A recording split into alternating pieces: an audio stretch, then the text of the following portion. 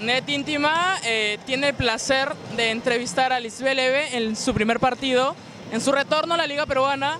Lisbel, eh, eh, explícanos primero a todos los peruanos cómo aceptas la propuesta de Géminis para jugar acá.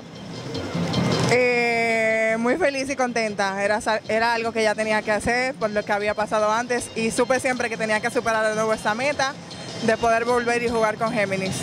Podríamos decir que el shock o el trauma de la lesión quedó en el pasado totalmente para ti.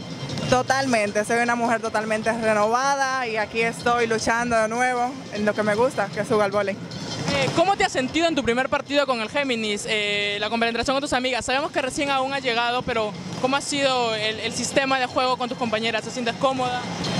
Estoy bastante cómoda, aparte de que todavía nos estamos acoplando, solamente he tenido un entrenamiento con el equipo y aquí está el resultado, poco a poco lo estamos haciendo bien, lo estamos logrando.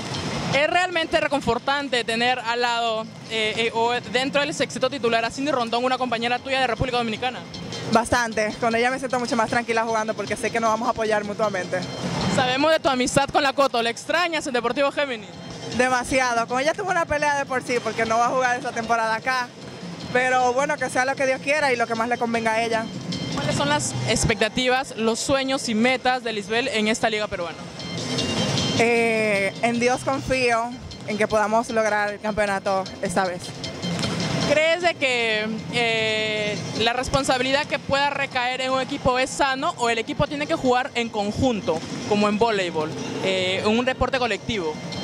Pues siempre he dicho que un ju- un jugador solo puede ganar un partido, pero ya el equipo son los que ganan campeonato y si no jugamos como equipo, pues no vamos a llegar a, a tan lejos. Envíale un saludo a los seguidores del Deportivo Géminis y a toda esa hinchada de comas que viene a apoyarlas y alentarlas. Les envío un saludito a todos, muchas gracias por su apoyo. Sé que se han mantenido siempre mirando cómo he seguido día tras día de mi recuperación. Pues acá estoy y eso es para ustedes. Muchas gracias. Me olvidaba, envíale un saludo a los dominicanos que te siguen por las redes sociales y que seguramente están mirando el partido, han, mirado el partido. Gracias por apoyarme, chicos dominicanos. Los quiero mucho. Dale, gracias.